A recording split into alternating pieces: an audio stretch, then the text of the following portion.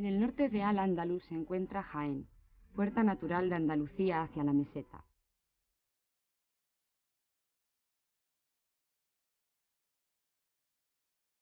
Muchos hemos atravesado sus campos de camino hacia el mar, pero muy pocos se han detenido a recorrerla.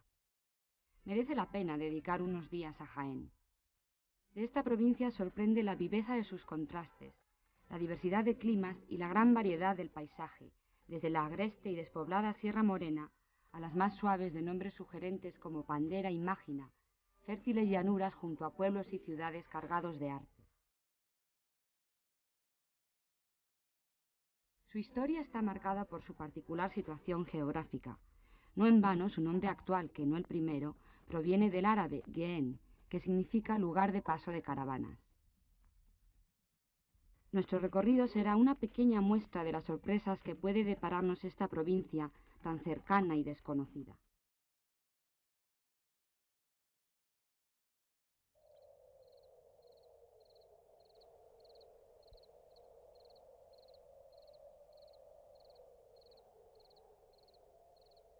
En Jaén, sobre el cerro de Santa Catalina, se levanta el famoso alcazaba jienense, que parece salido de alguno de los fantásticos cuentos de las mil y una noches. Es difícil distinguir el viejo castillo árabe o abreuí de las posteriores construcciones cristianas, pues los trabajos siguieron realizándolo los artesanos mozárabes. La fortaleza conserva el misterio y la magia de su pasado árabe, como si en cualquier momento fueran a aparecer altivos guerreros con vistosos turbantes y largas túnicas ceñidas por el brillo del alfanje.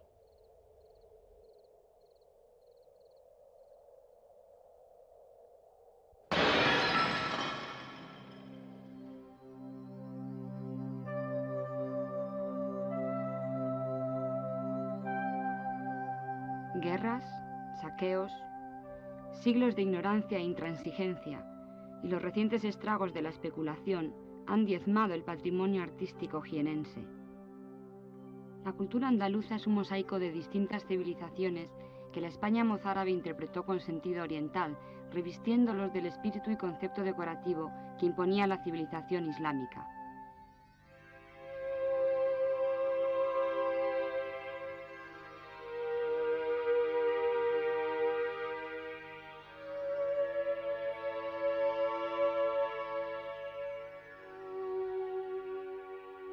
Crónicas antiguas se sabía de la existencia de unos importantes baños públicos o hammam. Construidos bajo tierra pasaron desapercibidos durante siglos como bodegas del palacio que sobre ellos construyó uno que fue virrey del Perú.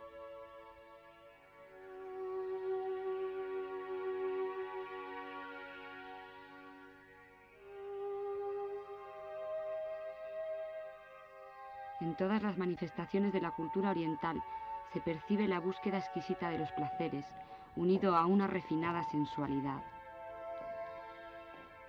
La impresión de inmensidad queda matizada por la disposición de columnas y arcos para no traicionar el sentido árabe de intimidad y recogimiento.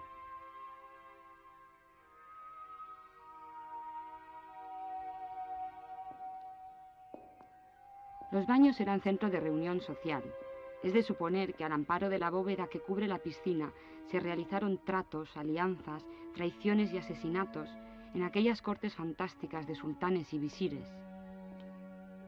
En los baños de Alí, columnas y bóvedas rezuman melancolía y produce una indefinible sensación, el silencio que ahora los ocupa.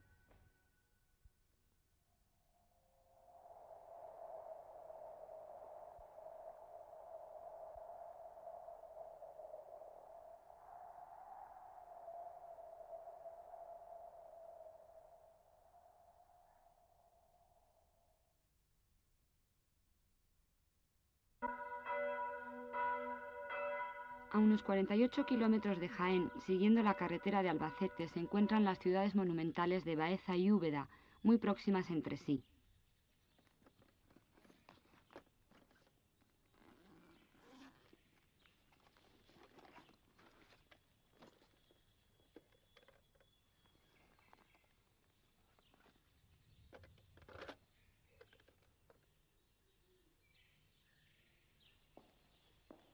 Baeza tuvo una gran importancia a lo largo de toda la Edad Media debido a su situación fronteriza entre reinos musulmanes y cristianos. Pero son los siglos XVI y XVII los que marcan su máximo esplendor.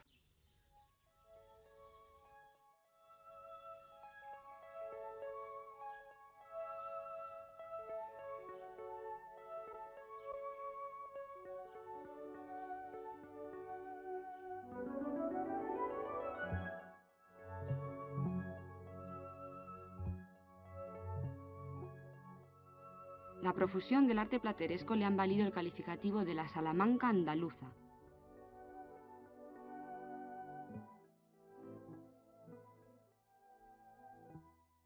Un buen ejemplo del plateresco andaluz en su asimilación de las formas italianas es el ayuntamiento que antiguamente fue cárcel y casa de justicia. La fachada de aire alegre y palaciego y la rica decoración de cornisas, ventanas y puertas están muy lejos de dar la imagen sombría de una prisión.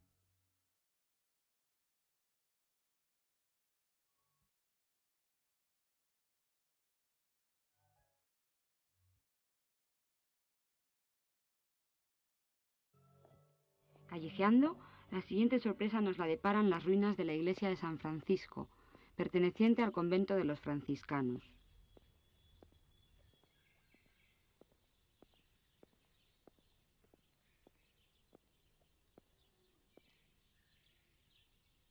Movimientos sísmicos, guerras como la Guerra de la Independencia en que fue utilizado como cuadra por las tropas francesas, y el abandono posterior terminaron por arruinar el inconcluso edificio.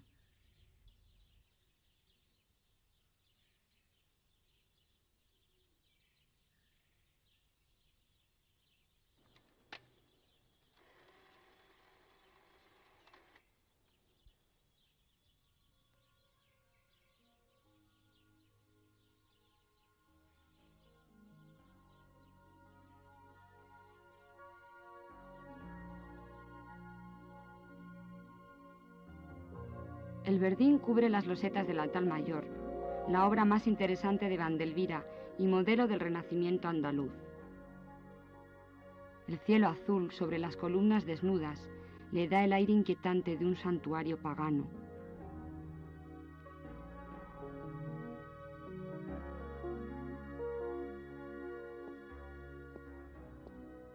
Paseando por las estrechas y solitarias calles, un tiempo antiguo parece envolver sus piedras.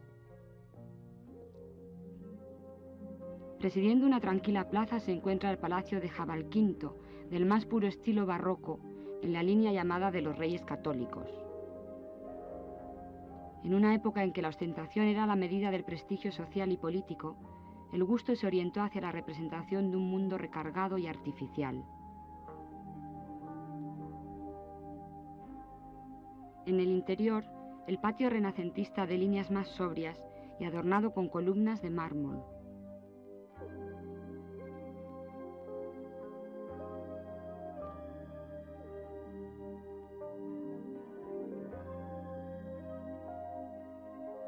La escalera monumental con profusión de adornos barrocos, en la que es fácil imaginar a damas y caballeros en un día de fiesta, subiendo los peldaños con los alegres y suntuosos atavíos de la época.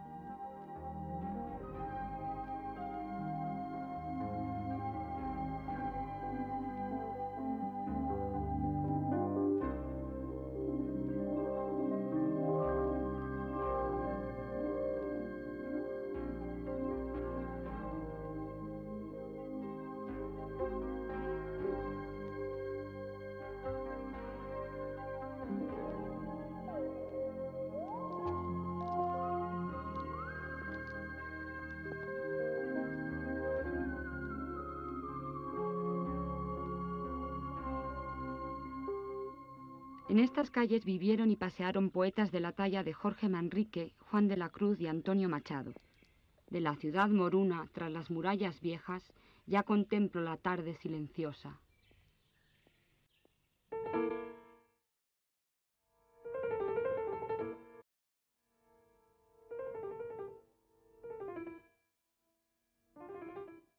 Baeza pobre y señora, Úbeda reina y gitana.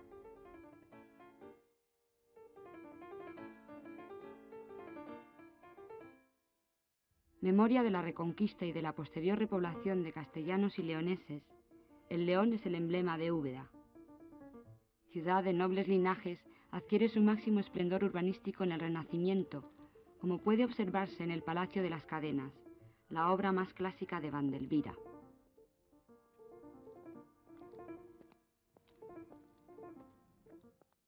Numerosos palacios, casonas y conventos salpican la ciudad y los descubrimientos se suceden en cada esquina. Un paseo por las estrechas calles del arrabal Mudéjar para salir a la antigua plaza del mercado, espacio abierto y centro del mundo comercial y festivo en la Edad Media. San Pablo. Su puerta principal en la fachada sur se abre a la amplia plaza. Parece que en principio fue iglesia visigoda, después mezquita musulmana para volver más tarde a su primitivo culto.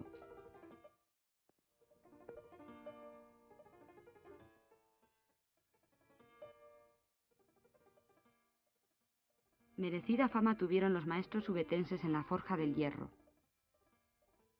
Su delicado trabajo puede apreciarse en la reja que cierra esta capilla.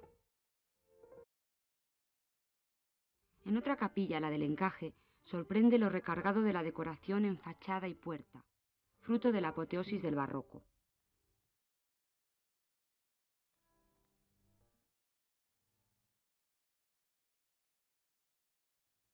Muy lejos queda la delicadeza y sobriedad del dibujo mudéjar, el trazo seguro del dibujo geométrico, la sensualidad de las curvas, el refinamiento exquisito.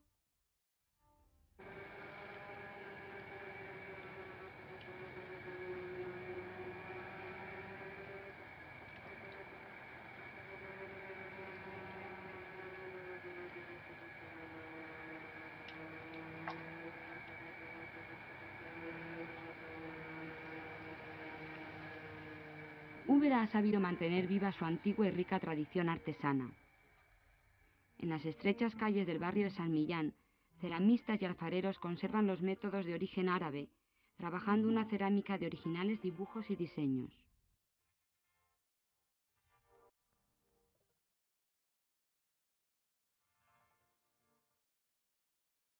Las inesperadas calles de sinuoso trazo, los altos campanarios, las murallas, las plazas recoletas, son descubrimientos que se suceden.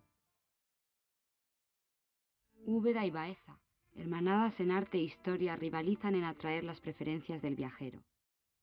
Descubrir una ciudad, recorrerla, es una aventura personal llena de sensaciones.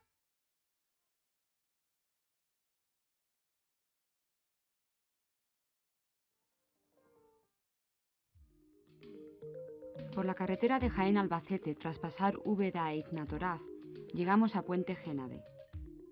Una vez allí, una desviación a la derecha nos introducirá en la Sierra del Segura.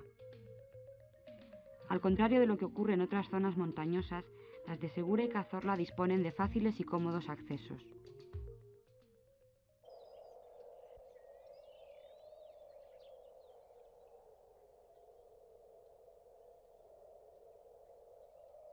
Través del valle que da acceso a la sierra, los olivos se agrupan en las dunas como si buscaran protección del viento frío que baja de las cumbres. En esta zona es donde se da el aceite de mayor pureza de toda la provincia. Las torres de defensa o atalayas, perdidos los ánimos guerreros, integran su erguida belleza entre los olivos. Continuando la carretera, tras pasar veas de Segura, divisamos al fondo una impresionante imagen de Segura de la Sierra, emplazada como nido de águila sobre el monte Oróspeda a 1240 metros de altitud.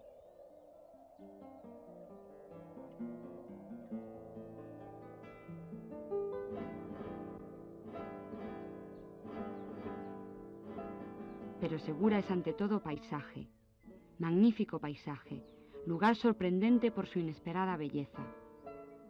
En la vecina sierra de Cazorla nace el Guadalquivir, del árabe al-Wadi al-Kabir, que significa río grande. Su cauce se expansiona en el embalse del Tranco, en el que se miran las cumbres de Beas.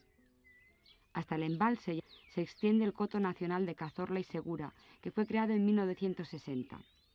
Con una extensión de 71.000 hectáreas, es uno de los de mayor riqueza cinegética.